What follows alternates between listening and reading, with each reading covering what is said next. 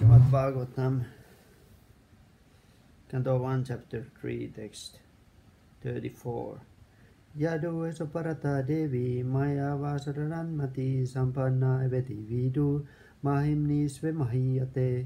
If the illusory energy subsides and the living entity becomes fully enriched with the knowledge by the grace of the Lord, then he becomes at once enlightened with self-realization, thus becomes situated in his own glory.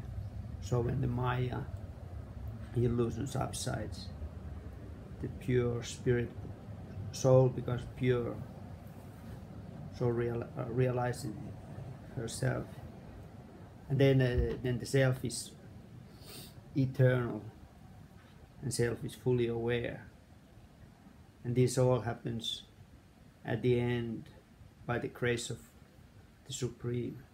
We may do our practice perfect way. But if you don't, if you don't get blessed by the Supreme, we don't go anywhere.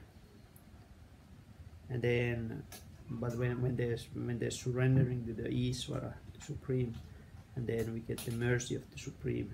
That's how we reach that state of self-realization. And self is pure, glorious, and eternal. Lakshman बाबू रंग